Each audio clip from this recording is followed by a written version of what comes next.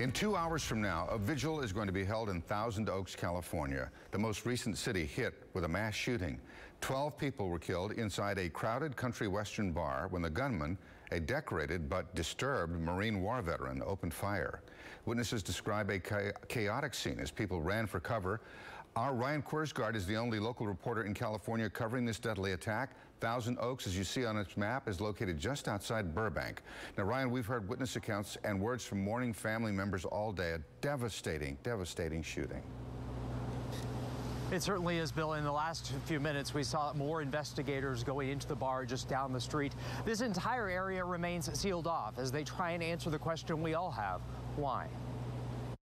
It was to be a night of fun. It was college night at the Borderline Bar and Grill in Thousand Oaks, California.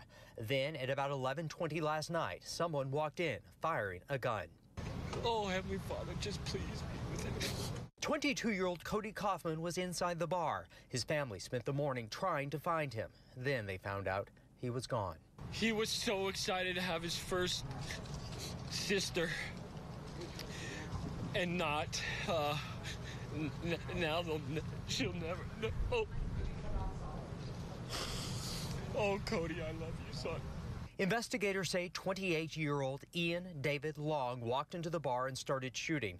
Police say the former Marine killed himself after police and tactical units arrived.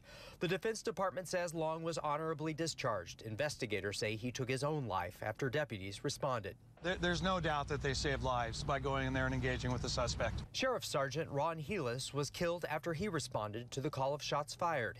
Investigators say they cannot answer the question, why? We're going to pursue the leads that are developed from that evidence uh, wherever they take us uh, to identify any possible motivation